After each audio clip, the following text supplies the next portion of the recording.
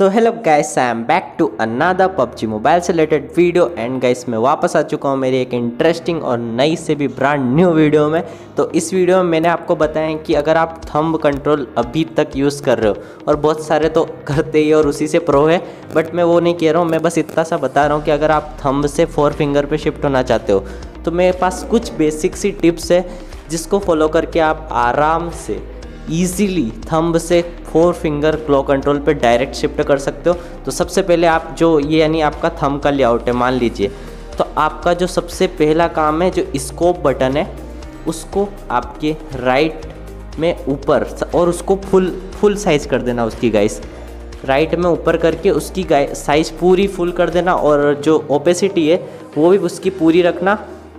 और एक left side में आपको एक फायर बटन रखना है। और राइट साइड में स्कोप ओपन बटन और लेफ़्ट साइड में फायर बटन और ये जो बाकी सारी चीज़ें इनकी ओपेसिटी आप बिल्कुल ज़ीरो कर दो। आपको अभी जब तक, यानी आपकी इस चीज़ की प्रैक्टिस नहीं हो जाती, तब तक आपको इन चीज़ों को हाथ भी नहीं लगाना है। पहले, सबसे पहले आपको स्कोप ओपन और फायर अगर आप स्पीड में दबा सको, उसकी प्रैक्टिस करनी है, इससे आपका बहुत ज़्यादा फ़ायदा होगा। आप फोर फिंगर करने, यानी शिफ्ट होने में आपको ज़्यादा दिक्कत नहीं आएगी, क्योंकि सबसे पहले आपको काम यही करना है। आपकी जो फिंगर्स है, उनसे ये दोनों चीज़ें पहले इनकी प्रैक्टिस करनी है बहुत ज़ोरदार तरीके से। फिर सेकेंड स्टेप हमारी आएगी कि ये सब तो है ही सही अब इसके बाद जो आपका क्राउच है, इसको आपको राइट साइड के फोर फिंगर पे लेके आना है। यानी राइट साइड में ऊपर लेके आना है और खाली इसकी ओपेसिटी आपको फुल करनी है।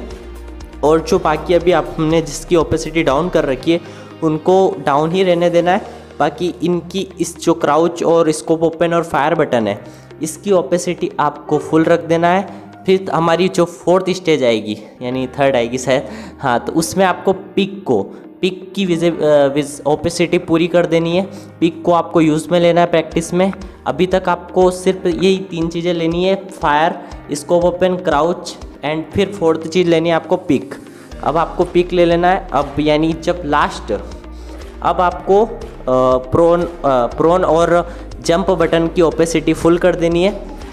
अब आपको जंप और प्रोन बटन यूज़ में लेना है। अभी भी आपको जो आपके थम पे फायर बटन है उसको यूज़ में नहीं लेना है। बहुत सारों के नहीं है, उनके लिए, उनकी बात नहीं कर रहा हूँ मैं।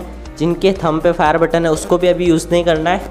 और अब एट द एंड इन सब की प्रैक्टिस हो जाने के बाद आपको ये करना है फायर बटन को इनेबल करना है।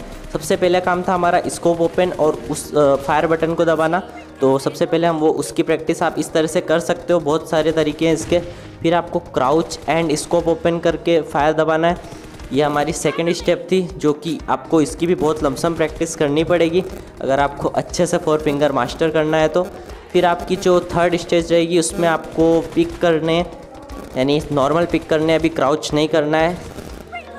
नॉर्मल पिक कर करके आपको प्रैक्टिस करनी है। फिर आपको क्राउच एंड पिक करना है। स्पीड में जैसे जैसे आप करते जाओगे, वैसे वैसे आपकी स्पीड बढ़ती जाएगी। तो इसकी भी आप प्रैक्टिस करोगे तो ही हो पाएगा। डायरेक्ट टीडीएम भी खेल सकते हो, आप उसका उससे भी फ़ायदा हो सकता है। तो ये बेसिक सिर्फ़ तीन स्टेप आपको फॉलो करनी है। स्कोप ओपन फायर करना है, फिर crouch and fire crouch and scope open and fire करना है, फिर scope open crouch and pick फिर फायर ये आपकी बस नॉर्मल सी स्टेप्स है, ये कर लेना है। इसकी प्रैक्टिस कर लेनी है, आपको बहुत अच्छे तरीके से कर लेना ट्रेनिंग मोड में और टीडीएम में।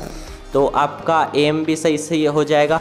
ये करते वक्त आप एम असिस्ट डिसेबल रखो, यानी टी खेलते हुए डिसेबल रखो, उसको इनेबल मत करो। जब आप कोई क्लासिक मैच खेलो, उसमें आप इनेबल कर सकते हो बट शुरुआत में अगर आप प्रैक्टिस कर रहे हो तो उसमें आप डिसेबल ही रखो, जिससे आपका एम बहुत अच्छा हो जाएगा गाइस और आपको कोई दिक्कत नहीं आएगी फोर फिंगर शिफ्ट होने में। तो गाइस आई होप आपको ये वीडियो पसंद आएगी एंड अगर पसंद आए तो वीडियो को लाइक ज़रूर कर देना। एंड अगर आप मेरे चैनल पर अभी अभी आए हो जस्ट आए हो ब्रांड न्यू आए हो तो बिल्कुल चैनल को सब्सक्राइब कर लो और बेल आइकन प्रेस कर लो। ताकि आप मेरी वीडियो की नोटिफिकेशन कभी मिस ना कर पाओ। मैं मिलूँगा आपसे नई वीडियो में कल। तब तक के लिए tata bye bye see you